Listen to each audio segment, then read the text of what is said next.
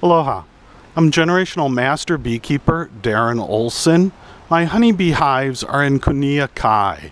Unfortunately, they are sick. I'm here at the University of Hawaii Manoa Hawaiian Studies building in order to ask for your support. I would like to make Hawaii the first organic, natural, sustainable state in America.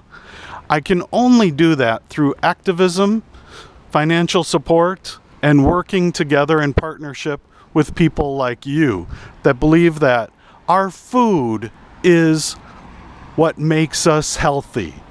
Healthy food is sustainable. Our current agrochemical culture is unsustainable.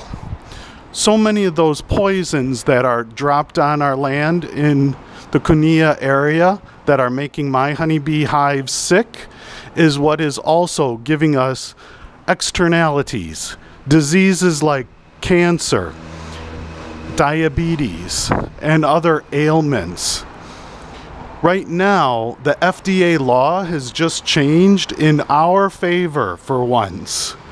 In order to prove that the agrochemical companies are dumping too many toxic poisons on my honeybees and making them sick, I need the funding for the laboratory tests in order to prove to the FDA how our food has become unsafe because of the immoral agricultural practice uses of the agrochemical companies here in Hawaii.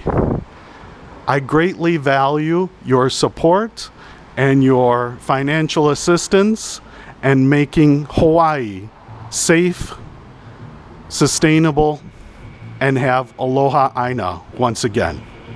Mahalo nui loa for your support in helping me save the bees.